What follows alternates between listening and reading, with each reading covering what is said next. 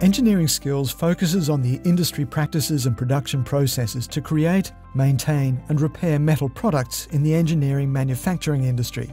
This subject provides a unique opportunity for students to experience the challenge and satisfaction of undertaking practical work while developing vocational and life skills. Engineering skills can establish a basis for education and employment. With training and experience, you may find employment opportunities in engineering trades such as a sheet metal worker, metal fabricator, welder, maintenance fitter, metal machinist, locksmith, air conditioning mechanic, refrigeration mechanic, or automotive mechanic.